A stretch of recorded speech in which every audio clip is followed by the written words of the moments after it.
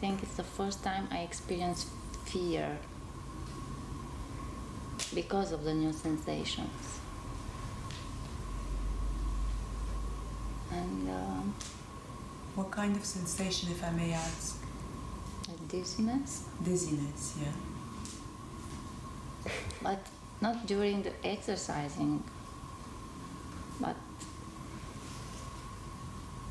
almost all the time since yesterday evening. Now you feel dizzy? Yeah. Yeah. and for some rapid movements or quick movements, it's a loss of uh, balance, sense, Okay. sense of balance. Yeah. It's uh, Yeah, yeah. pretty, Strong. Okay. yeah, and strange. And strange. Yeah. And then fear comes.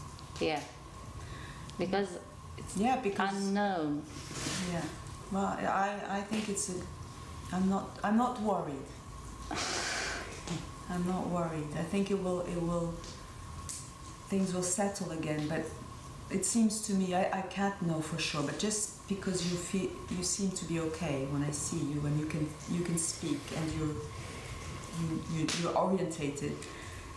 What I think is happening is that we have challenged the separate self in its place, in, its, in, in a more subtle place maybe than, than usual. And of course, it's uh, destabilizing for the separate self.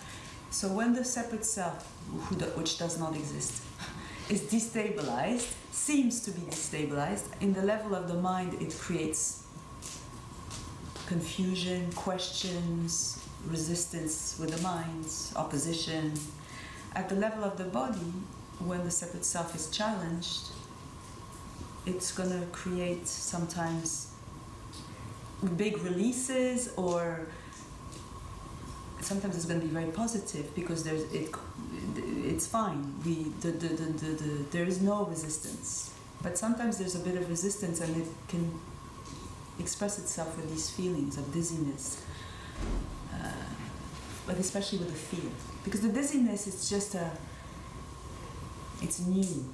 You're labeling it dizziness but in fact who knows? It might just be a a realignment of the body And sometimes it's not so bad. exactly. But it's new and Yeah. it's unknown. And that's that's where fear comes in and also the mind goes i'm dizzy and what's going to happen next and i feel overwhelmed and and then so be happy. It's it's a good sign.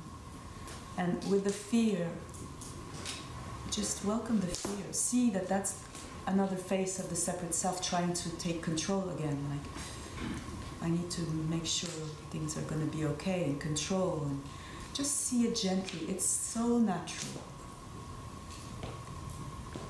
Don't don't don't write any big stories. Just this is one way that it can happen. This is another way that it can happen. This is another way. There's we're all in the same boat. We're all trying to jump off the same no we all have our own boat that we're trying to jump off forget about it.